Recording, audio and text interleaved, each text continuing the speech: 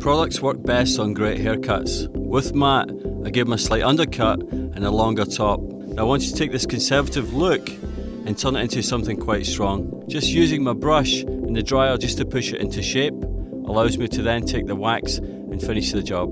I use my blow dryer to melt the product in the jar. This just makes it easier for application and you can see it as it hardens into the hair combing it all the way through, more of a kind of teddy boy look, which was an English character in the 50s. And uh, you can see I get that shine. Most importantly, I get hold and a little bit of flexibility. That's why I use the Sumo Wax.